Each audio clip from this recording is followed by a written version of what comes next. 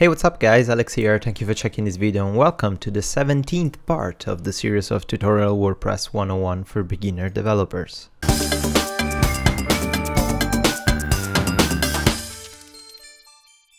Have you ever heard about Monstroid?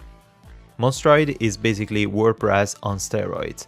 With this product you can build easily everything from a single blog page to a gigantic e-commerce to sell your product online. If you don't want to waste time and you're looking for a product that it works out of the box and is really solid, I suggest you to try Monstroid. Click on this video to learn more and access a 10% discount for Monstroid or whatever other theme you decided to purchase from the Template Monster repository. Welcome again. In uh, this lesson we're going to take a look on how to create other two very important pages of our awesome theme. These two pages are the archive page and the 404 page. The archive page is that page that you hit, that you actually visit when you click, for example, on a specific month inside a calendar of a WordPress installation. So you're going to visit the archive of that specific month.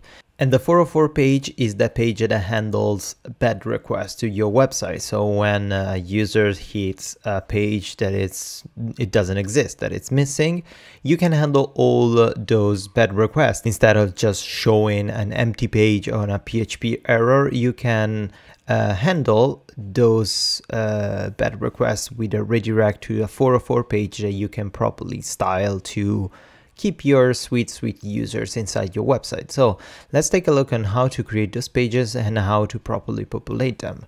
First of all, let's take a look of the current status of our installation of our WordPress theme.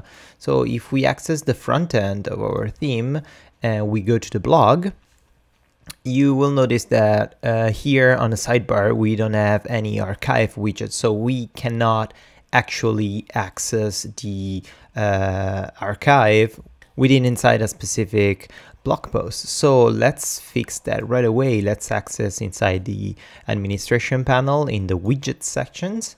We can put in our sidebar the archives widget. And let's put it down here and let's title it archive. And I want to show the post count and let's save it. Go back in our front end, refresh, and now we have the archive. So month by month, all the blog posts that I publish in, in those specific months. Of course, there are plenty of plugins with a way better archive, but this is just for this actual purpose, this example, so bear with me with this super ugly archive. But anyway, if we click on May 2015, we should be able to see to see the three posts that I published on May 2015. But if I click, it doesn't matter which one I click, I keep seeing the standard blog page. If I go into blog post, these are the latest three blog posts that I publish. If I click on May 2015 or February 2015, it doesn't matter. We are gonna see always these three blog posts.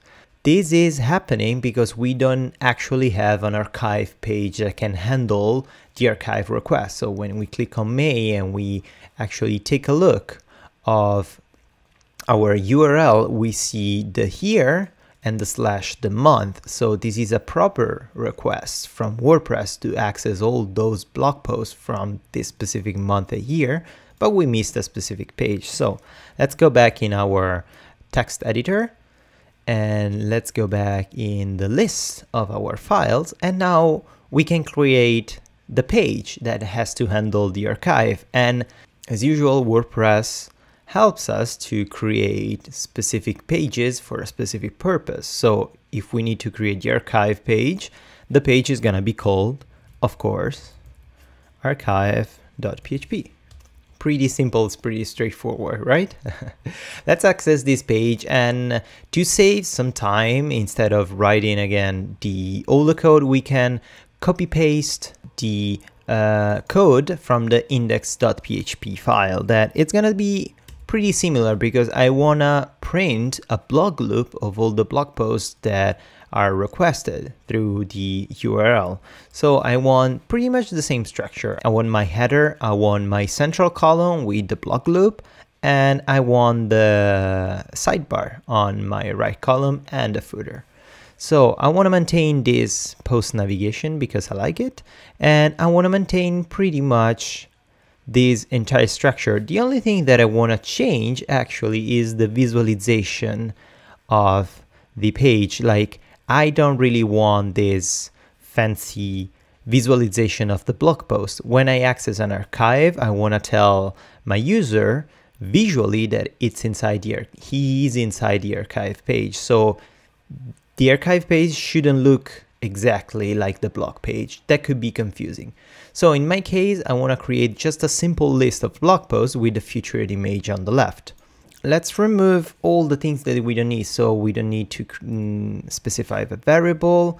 We don't need to check what kind, the, what kind of variable I have right now so that I don't have to dynamically change um, the column width, I can remove pretty much everything inside here. I can remove the increment of the custom variable that I created. And inside here, I can simply call the template um, that I want to use to handle my blog post. So let's reopen our PHP tags and let's use the function that we already know called get underscore template. Template underscore part. And inside here we specify as a first string as a slug the content that is the first part of my template and the second part is archive. So now what I have to do I have to create the PHP file content-archive because it's the one that I'm calling from the archive page. Dot php and as usual because I don't want to rewrite everything from scratch I already wrote that, that part I can access the content.php the generic content of my blog page and copy the entire um, structure HTML structure copy and paste it in my archive. But in my case, I want to remove the content and instead of the content, I want to just put the excerpt here and the excerpt here. In the archive page, I don't want to print the entire content of my blog posts, but just the excerpt. So just to give a hint of the content. I can keep everything like that. So I'm going to have the title with a specific link to the actual blog post that it's really important. Don't forget that. And the um, uh, publishing time and date and the category where this blog post has been published. Let's save it. Let's close this, close this other one. Let's access our installation, our front end. Let's click on the archive and we have here, as you notice, the list of content that we created. So we have the title with the link to the specific blog post. We have the posted on with date and time. So all these blog posts are posted on July 2015. So you can see it's July 11. And we have the category. We have the excerpt and the featured image left aligned. But there's a problem here. So if you notice here, I clicked on May. So if I click again on May, I'm on July. If I click on February, it's still July. So I'm actually looking, still looking at the same exact blog post that I have here on my blog page. How is that possible? Just simply because we actually didn't, we actually edited the query posts while we were creating a custom navigation to do previews and post links. So instead of doing this, let's completely remove the custom PHP that we created to edit the query post. Let's leave the standard query post, so let's not touch it, and the loop is gonna it's gonna start automatically without us touching anything. And we can remove also this navigation here. And let's put 12 and text center. And here we can put another native WordPress fu function that is the post navigation. So let's open PHP tag again and let's call the underscore posts underscore navigation. This function automatically will create a navigation without uh, the necessity from us to edit the query post to customly navigate through all the blog posts. We can also safely remove the WP reset query because we didn't actually edit the query post, so we don't need to reset that query. Let's save it. Let's go back in our front end. Let's click on July and it's not working. So it's normal. When it's not working, what we have to do, we have to access the WordPress installation. Let's go back in our base root. Let's go in the config file and let's put wp debug display to true, save it. Let's go back in our front end again, refresh, and we can see here we have a parse error archive PHP on line 31. So let's take a look what is wrong in our archive on line 31. We have the footer here. So for him, this is wrong. So that, that is something that is not working. So the problem is, of course, I forgot to close the if.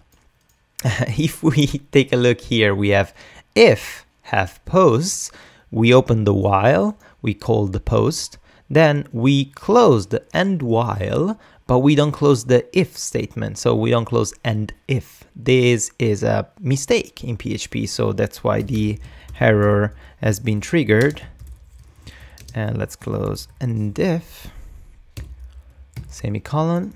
Let's go back, refresh, and ta-da, we see how our thing. So this error message that we uh, that WordPress is printing is a strict standard. It's not an actual error message, but is a declaration, uh, a compatibility declaration from PHP and WordPress that indicates that we should actually edit our Walker PHP Online 86 and the Walker nav start level should be compatible with the Walker nav menu basic start level. So I should use the same format. This is not an actual PHP error. So we can avoid it. We can ignore this error and do not see it again. Let's go back in our WP config file and let's put false. Save it. We can close the file and we can go back in our WP content themes, awesome theme, and we're again back on the root of our team. Let's go back in our front end, refresh, no more error. That's nice, and everything is working. So now if I click on May, I'm gonna see all the blog posts. Now finally it's working. All the blog posts that are posted, uh, that were posted on May 2015 and it's the same for February. I have these three blog posts posted on February and the post navigation is not showing because I'm inside the limit of three blog posts per page uh, also inside the archive. So the generic settings that are inside reading and is like 10 blog posts per page are applied also to the archive page if we don't edit the query posts. The other thing that the archive page did is as created uh, an archive also for the category. While before, while clicking on the category, we were accessing another blog page uh, with the list of all the blog posts with the same category. Now this archive page is overriding that archive, that category page. So now we are still inside the archive page. You will notice it from the same, because the blog posts, they have the same style, but the URL is actually calling the category news. And we have all the news that we publish it inside that category. Isn't that beautiful? And isn't that super simple to achieve? The other thing that I want to do in this archive page is uh, want to specify a title of my archive. And in the case of a category, if the category has a description, I want to print also that description. To do that, we can just simply use other two native uh, WordPress function to do that. WordPress is incredible. It gives us pretty much all the functions uh, necessary to print whatever we want and whenever we want. So let's close here the PHP tag and let's reopen it here. So I want to put my title and my description of whatever archive I'm watching between the if opening and the while. So I'm not going to print any title if I don't actually have any posts, but I'm not going to put my title inside the while loop. Otherwise, my title is going to be repeated for the same amount of mm, the same amount of blog posts that I'm printing. So let's reopen again the PHP um, tag and let's use as a first parameter the function the archive title. This string basically will uh, grab automatically the archive title that I'm looking at. So if I'm looking at the uh, July 2015, I will have an archive title of July 2015. If I'm looking at the category news, I will have an archive title of category uh, column news. This is really handy because automatically the archive title function can handle all the different derivation that is like month archive, um, category archive or tag archive. This it's it's really fast and we don't have to worry about changing the uh, prefix of this uh, archive title. Uh, what we can change though is the before and the after of the title. What I want to do is I want to use an h1 tag to wrap the actual um, category title. So I'm going to use class and let's create a standard class like call page title.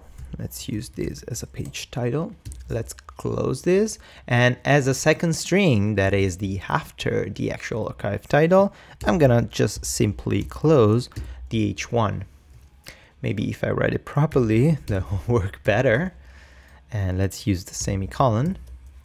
The other parameter that I want to print is the archive description, the archive description. So the archive description is gonna print something only if what I'm looking at has a description. So if I'm looking at a category that has a description, this parameter is gonna be printed. This is pretty handy and also this one is dynamic, so it's gonna recognize whatever thing we are work we are uh, looking at right now. So we don't have to worry of printing something that doesn't exist or checking if we are in a category, in an archive, or in a tag. So let's use a random class. This is a taxonomy. I'm gonna do a um, video tutorial about taxonomy in the next lesson, but for now, let's call this description a taxonomy description. Let's use the as a class because this is actually a taxonomy, but don't worry if you don't know what's a, what a taxonomy is. You're gonna know it pretty soon. Let's wrap this around the string and let's close this semicolon. Now I want to create another little bit of HTML separation. So I want to use the header HTML5 tag and open a class page header close and let's close the header tag and let's indent properly to have a, better visualization. Let's save it. Let's go back in our front end, reload the page, and now we have category news because we are watching the news category. If we click on July 2015, we have month July 2015. See how powerful is the archive title? And let's do something else. So if we click on tutorials, we're gonna have category tutorials, but if we access the administration panel and we go inside our posts categories and we access the tutorials, we have the description of the tutorial. So let's write something nice like list of tutorials and um, tips for developers and designers. Boom, let's save it and refresh our front end and tada, we have our wonderful description that it's gonna work only if the description exists. So if I, in a month, I have no description, so it's not gonna print an empty string, nothing is here. But if I am in a news that doesn't have a description, the category, I'm not gonna print it. But if I click on tutorial, I have the description of the tutorial. This is totally automatic. I don't have to do anything because it's beautiful. The other topic of this lesson, as I said, is the 404 page, that page that gets called by WordPress when a user hits a part that actually doesn't exist in your website. So if we manually type the page name that doesn't exist, for example, um, portfolio, I didn't create a page portfolio, I didn't have a page that handles portfolio, WordPress is going to the actual index page. So the first page is the blog page and it's saying, if you notice though, WordPress is visualizing the blog loop is the default page for the blog post. But if you notice here in the title, we have page not found. So this is a mistake of WordPress that WordPress cannot find the page that we are hitting. So the portfolio page that we didn't create but cannot handle properly the styling of the content of the page. So he grabs the blog page to print the blog post. So this is confusing because if a user is, is hitting the portfolio and is watching this page, probably he could think of, oh, this is your portfolio, but it's weird because you don't have a portfolio here. And if you notice the page title, it says page not found. So we have to create a custom page to handle bad requests to our uh, WordPress site. To do that, as usual, let's access our text editor and let's create a new file called, of course, 404.php. Simplicity and consistency are beautiful. A 404 page is a page that we can style however we want to handle bad requests. So first of all, we have to input the usual thing that we need to create a page for WordPress. So we need the header, get header. And then we can copy these, we put it down and we can call the footer, get footer. And in my case, I don't want the sidebar, but I want a full page with some specific widgets that I want to custom create. So let's create a little bit of HTML boilerplate to uh, properly style this page. Let's open a div. Let's put an ID of primary. Let's put a class called container as usual. So our page is gonna be nicely wrapped around the container of our Bootstrap CSS framework. And inside here, let's open the main HTML tag, id, id main, and class can say site main and role is an HTML5 markup. Let's put, this is the main role of the page, the main handler container. And inside here, we can create a section with the class error dash 404. So we can style this page and we can also put another class called not found. This is our totally arbitrary class. This is uh, pretty much these are standard classes that are uh, used by WordPress to style the 404 page. So I'm using the default pages, the default classes that you can find inside a 2014 or 2015, but these are totally arbitrary. You can call these, you, you can define this class however you want. You can name those classes however you want. There's no limitation about it. It's just a boilerplate stuff. So don't worry too much about this section. So the first thing that I want to do, I want to create a header to tell the user, hey, this page doesn't exist. What the hell are you doing here? So let's use page header. Let's close it. let's open it, go down, let's call an h1 tag class page title.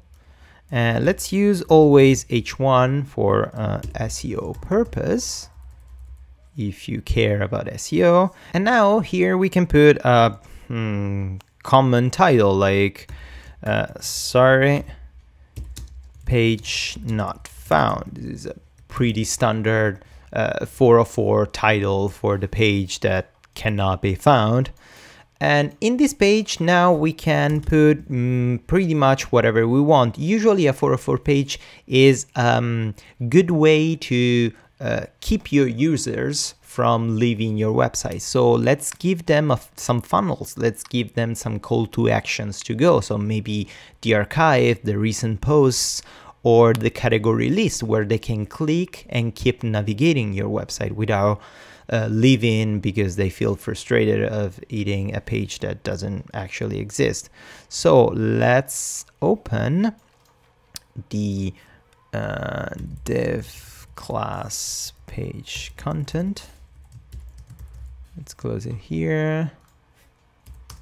And as a first, I want to put an H3 because I want to use a sort of subtitle and I want to use a message like it looks like nothing was found at this location and we can say like maybe try one of the links below or a search question mark in this way we are totally engaging our user they're gonna feel so engaged they cannot leave our website right so like we did in a previous lesson, the first thing that I want to do, I want to print the search form. So a user can use my search form. To do that, I'm to use the uh, WordPress function get underscore search underscore form. And this one is going to print my search form from the file search from .php. Pretty easy, right? Then underneath here, I want to reopen again the PHP. Ooh, what did I do? Command Z. I want to open again, PHP tag, and I want to print my first widget. So we're going to learn something new here. Usually a widget, to add a widget, what you do, you create a sidebar, you put the widget inside there, and you print the sidebar. But there's a function that gives us the ability uh, to print a widget inside a specific page, inside a specific PHP page by calling the widget unique ID. If we know the unique ID, we can easily print it. And what we're gonna do right now is we're gonna print some pre-made widget of WordPress. So to retrieve those IDs, you can just go inside the WordPress codex and take a look at all, all, all, the native widgets. It's pretty easy to grab those widgets IDs. So right now I'm gonna use the function the underscore widget. Ta-da! And inside here we have a bunch of arguments, but we actually need the, just the first one, that is the unique ID of the widget. So I want the default WP all capital underscore widget underscore recent underscore posts semicolon. Oops. And down here I wanna create another widget area with my categories. So I'm gonna open the HTML tag div class. I wanna use the widget class that is the full we is the default class of WordPress and widget underscore categories and remember also those these classes that I'm, I'm using, you can totally change them. They're not like strict and you don't have to use this. It's They're totally like uh, for the purpose of this tutorial. You have the freedom of change classes name and tags and whatever order of HTML markup. This is just an example. Don't be um, afraid of changing things. So let's use, uh, actually here I want to use an H2 because they should be the order. And here I want to use an h3 and put here. Check the most used categories. Woohoo! That looks so exciting. And now I can print uh, order list with the UL tag open again the PHP and inside here, I can call the class, the, sorry, I can call the function wp underscore list underscore categories. So this class, if you don't specify any type of arguments, is gonna print all the uh, categories that we have in our blog, in our WordPress installation. Um, but I want to specify a bunch of parameters. These parameters will help me to uh, order properly and display properly all the things that I want. So first of all, I have to open an array because the arguments that this function accepts uh, is an array of arguments. So always open the array. Inside here, I want to specify, first of all, I want to order my categories by the most used. So let's use the declaration, the arguments ordered by, and let's use count. So the category that has more blog posts is gonna come first. Second is order, we have to specify if this count is ordering in a descending mode or mode or an ascending mode. In my case, I want a, a descending mode or capital. This is an SQL, a database language declaration, so it has to be all capital, all uppercase. Show, oops, the third parameter is show count. I want to show the user how many blog posts are inside a specific category. So this is a boolean and accept one or zero. Zero is false, one is true. So I want to show the count, the amount of blog posts per category. So let's put one. And I don't want any title for my list a single li. So I'm gonna put the title li as an empty string because I don't want anything to destroy uh, my beautiful list. And then I wanna limit the number of category if I will ever have uh, that amount of category to just uh, five but this is a parameter that we can skip if eh, like in my case we have just four or five categories. But if we have like 20 categories and we don't want to overwhelm a user we want to show them just the most used categories we can put a limit of five or four or three or whatever you want. Let's save it. Let's put space here so it's going to be like a little bit more readable. And we close the ul we close the div, now what we could do, we could also, because we have it in our sidebar, we can show the archive.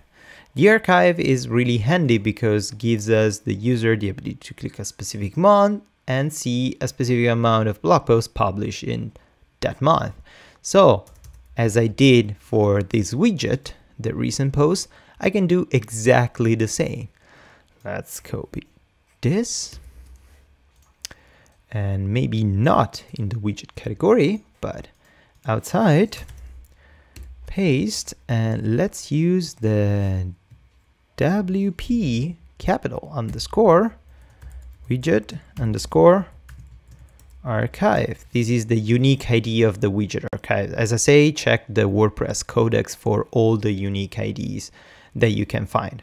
Also here, this um, widget accepts some specific parameters while in the previous one for the recent post we didn't touch anything. In this case I want to change just a little bit. So first of all I have the option to specify if I want the drop down or not. And also the drop down value is a boolean so 0 is false 1 is true. In my case I want to specify the drop down as true so 1 and I can edit the HTML um, generation of this widget with this the third parameter. In my case, I want to just edit the after title parameter. And I wanna, because I know that it's generating an H2 after this, I wanna use the variable archive content, oops, archive underscore content, semicolon, this is closed, that's it. Save it. Now we take a look. Oh, before taking a look, this widget, don't worry too much about it. This is just an example to populate this page. I'm gonna do a series of tutorials just to understand and create custom widgets for WordPress. So if you don't understand properly this section, don't worry. We're gonna go back on this more deeply and we're gonna understand all the parameters of this function and how to create a custom widget. So you're gonna have a really good knowledge of the widgets. Right now, just bear with me for a second. Let's use the default widget functions of WordPress and let's not worry too much about understanding these uh, small snippets of code. Save it. Let's go back in our front end. Refresh. And now we are in our wonderful 404 page because we are pointing to the portfolio page that doesn't exist. So WordPress is redirecting to the 404.php file that we created and we have the title, the description, the search bar, the recent blog post, the most used categories ordered by most used and the count, and we don't have the archive. Something is missing here. So uh, let's go back and take a look of our code. Oops, sorry, I missed an S. So the WP widget archives is the actual unique ID of the archive widget. So let's go back here. Let's reload and we have the archive. We specified a drop down to one. So we have our drop down. If I want, I can specify drop down to zero or avoid completely the parameter and refreshing. I'm to have the list of uh, all the months. Uh, this list of months, it works if you have just three, four months, but if you have like 20 months or like if your blog started in 2001 and you have uh, tons of months of archive, it's better having a drop down instead of a massive, massive list of months. So also for today's lesson, it's pretty much it. I hope you enjoyed. We uh, understood how to create an archive page and how to create a 404 page and how to handle bad PHP requests. Um, thank you again for checking this video. Hope you enjoy it. If so, please give it a thumbs up or leave it a comment if you have any doubt, any question. I'm super happy to help you and answer whatever question you could have. Uh, also, please share this video to spread the knowledge of the awesome world of WordPress and uh, let's keep doing and let's keep going together to keep building our awesome theme. So thank you again for checking this video and see you next time.